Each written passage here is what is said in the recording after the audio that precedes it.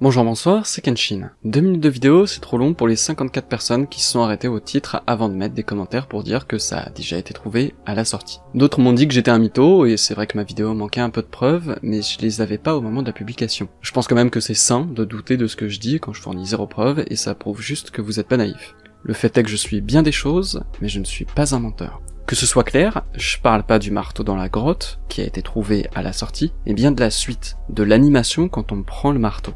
Apparemment, cette suite, elle a déjà bel et bien été trouvée par quelques personnes il y a longtemps, vu les commentaires que j'ai lus, mais l'info a jamais vraiment circulé. Imaginez juste le nombre d'easter eggs du genre qui sont trouvés, mais jamais su de la communauté juste parce que les mecs ne traînent pas sur les réseaux sociaux, ne font pas de vidéos ou autre. En 2014, on a une personne qui a fait une vidéo de la suite de cet easter egg, mais la qualité était telle qu'on comprend pas trop ce qui se passe, il y explique pas comment il fait, et il a même pas 100 vues dessus. Ce qui fait que pas grand monde n'est au courant de la vidéo. Une autre personne en a fait une vidéo, et c'est pareil, détail près qu'on a 1500 vues dessus, ce qui est beaucoup plus, mais toujours pas assez pour que la communauté dans son ensemble soit au courant de cet easter egg. Après ça, on a eu quelques commentaires dans la vidéo d'IGN, où dans la vidéo il montre juste le marteau, sans parler d'éclair, mais à part ces quelques commentaires qui expliquent comment faire, il n'y a pas vraiment de traces de ça. Les commentaires en question, ils ont été publiés plusieurs années après la sortie de la dite vidéo, et donc forcément il n'y avait pas grand monde qui repassait dessus, et la communauté était toujours pas vraiment au courant du fait que cet easter avait une suite.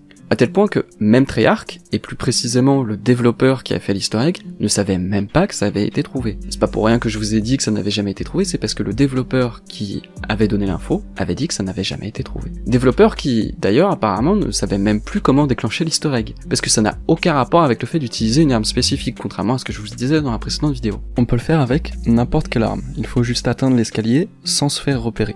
On n'a même pas besoin d'aller jusqu'au premier point de sauvegarde, il suffit vraiment juste d'atteindre l'escalier sans se faire repérer.